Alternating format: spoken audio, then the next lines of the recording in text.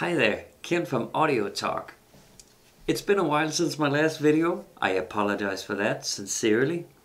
But um, I got this idea that um, I should show you uh, my method of uh, replacing a foam edge, or it could be the, it's the same uh, if it's a rubber edge. This this is a very common situation that this uh, edge here, out here, uh, dissolves and um, and then it will look like that the woofer is now uh, dead and needs replacement. And for some speakers, of course, that could be a good, uh, an easier thing to do is just to replace the driver. Um, but the cabinet, uh, if you've seen some of the other videos, the box uh, plays a very essential role to the overall performance together with the driver. And so there's a lot of differences between these speaker drivers, even the, if they look uh, relatively uh, much like the same, uh, they really aren't. So, so a safe way, if that we're only talking about that this edge have dissolved, is to replace it rather than replacing the driver.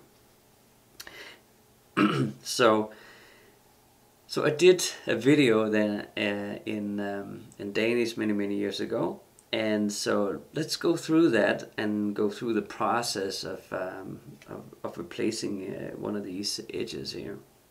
And uh, but I want to just talk a little bit about uh, um, some some of the stuff here in general.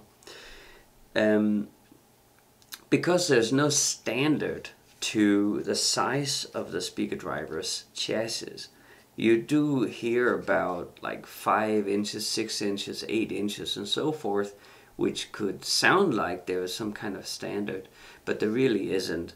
The measurements are far more uh, precise and for this to work, you know, like it's supposed to, you really should try and find online the specific edge, foam edge, for your model of speaker driver. So that could be uh, categorized by the overall speaker, like an old JBL L100, you might be able to find a, a repair kit for that specifically. If you can't, uh, then maybe try and pull the driver out. And if it's some kind of brand name of uh, individual speaker driver, like a CS or um, you know some some kind of branded speaker driver you could then find it through that perhaps. Um, there is also ways of measuring them out and um, and in places where you can buy them uh, measured by millimeters uh, so very precise measurements which would be another way. But the first one of course is the best because somebody has already figured out that this particular model is perfect for it. Yes. Okay, I think we should jump into it and uh, the first part uh, that I want to show is the cleaning process. And so I know this might be distracting and looking weird, but the old video is then playing in my ears so that I have uh, some cues to uh, um, to, to say what I need to say. It's been a while since I, I actually fixed some of these drivers myself. Been too too busy for many years now uh, to to do it. So, um, but the process is quite good. And um, as you can see here, um, I am picking off uh, the old pieces and um, and actually uh, let's see and actually using something like a chisel and scraping off um, is a really good idea. Um, and of course to be careful, uh, I used to also put my finger behind the actual cone on the back side, you see there, so I can really scrape. Uh, but of course that has some danger of uh, poking yourself with that chisel you see yeah. it says alcohol uh, yeah it's to not use alcohol when you have a, um, a paper cone so any kind of paper cone I really re recommend not to use anything uh, to dissolve uh, because it can easily uh, ruin the membrane. And uh, but of course the chassis, uh, the actual chassis, the metal part, you could clean that up with some isopropyl alcohol. But the best is just to use, um, just to rub it off and use uh, a knife or something and just carefully scrape everything off. Also to not, you know, uh, use dissolvents uh, or solvents too much, uh, like alcohol, because you know it's not good for your for your brain. Um, to get that. Whatever whatever's left of mine I like to to keep it so I don't use it. Yes. And that's that's pretty much it for for the for the cleaning part. So let's just skip to the the next uh, part. Well let's jump into the mounting part of it which is the you know clearly the most uh, difficult part and um, oh yeah. And then for alcohol of course i mean if you have some kind of a um, polyester cone like a plastic cone uh, polypropylene uh, you can use alcohol on that. Um, and perhaps Kevlar, ca carbon fiber, that sort of thing. A lot of out, what's out there is paper cones, and so, yeah, just scrape that uh, and, and, and not use any kind of uh, alcohol for that. Let's get to the mounting part. So in, um, the process I use takes more effort, but it's more sure to have a good result. The reasoning is for the centering of the driver, like how clearly, how precisely kind of gets to be in the middle.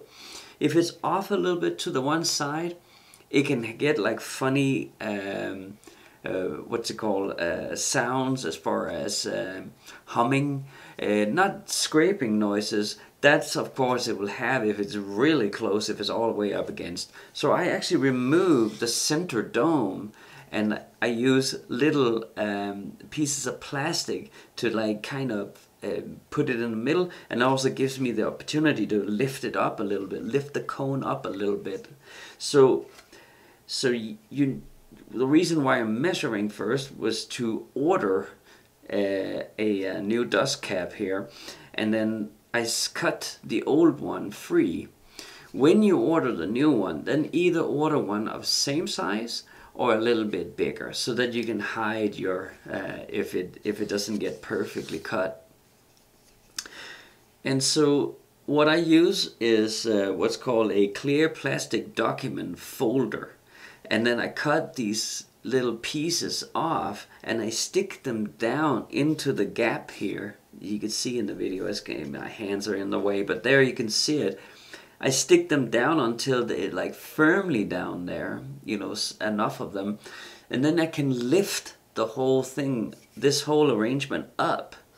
So it's clear of the chassis and I can get to, to really work on gluing the thing on because I want to glue on the inside first and have that hardening uh, cure, have that curing, and then after a couple of hours of, of that have uh, been cured, I will do the outside.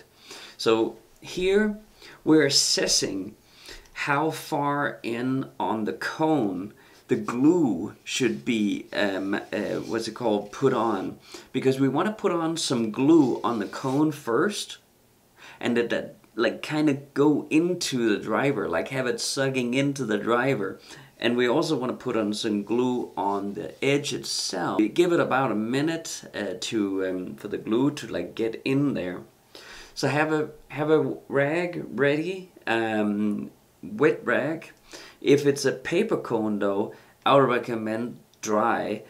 And glue, by the way, I forgot to bring that up. Um, I would recommend something like Elmer's uh, glue, like uh, so some kind of white glue that then turns clear in the end.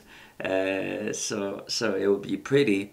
Uh, but it, it's nice to have it uh, that it's possible to see what you're doing and also you want it to be slowly curing so you have some time to kind of reset the whole thing if uh, if you don't get it set down precisely.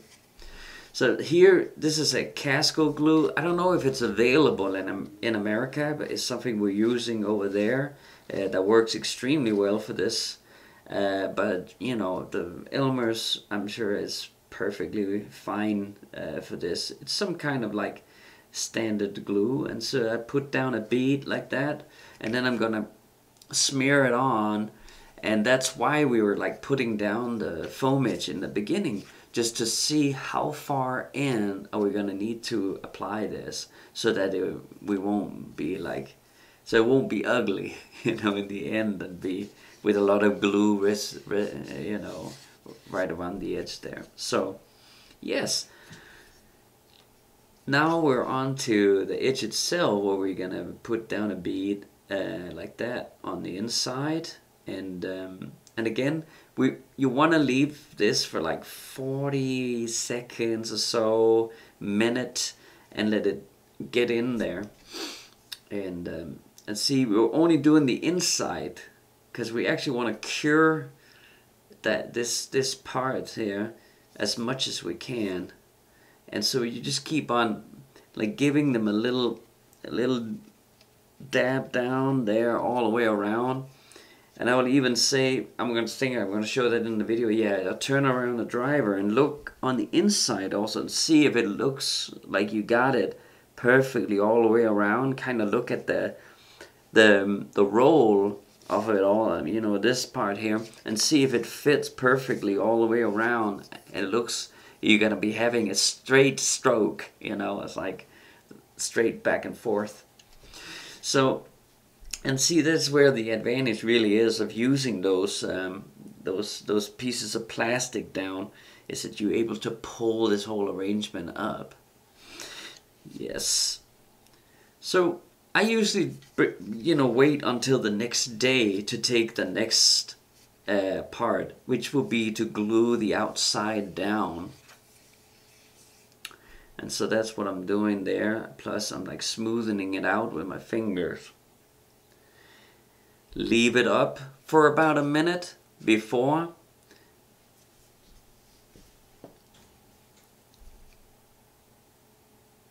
yeah see so so really that's an advantage of um, being able to work on it there and and smoothing it out one more time here and once you have that totally smoothened out and been sitting there for about a minute to like pull into the material, then you'll you could move down your cone into place. And still with these plastic pieces in there so that you keep a really nice even distance down in the magnetic um, down in the in the gap in the in your magnet and that's what it is a motor system gets to sit down there precisely. And then you find that a good distance uh, where you could see it would be in, a, in its resting point and you dab down the, the outside like that. And these are, and then you, I recommend uh, getting these spring clamps uh, like I show in this video and um, and mount them and you can leave the clamps on actually during the dry time and then take those off. Um, I will say that I have experienced if the foam is a bit soft uh, that they might leave a permanent uh, mark there. So perhaps like maybe an hour or so and then remove the clamps and then wait at least five or six hours until you use the speaker driver. And now you can remove the, the little um, plastic pieces and what's left is just to mount the uh, dust cap and um, it's not that you know you don't have to be super precise with that one it's more a question of aesthetics and then you put on a bead of glue on that, smoothing that out nicely, and then you put that down on the um, and you put that down on the uh, cone, just like yeah, and that's it. All right. Here's Kent from Audio Talk. I hope you got something out of it and have fun with your projects. Take care. Bye.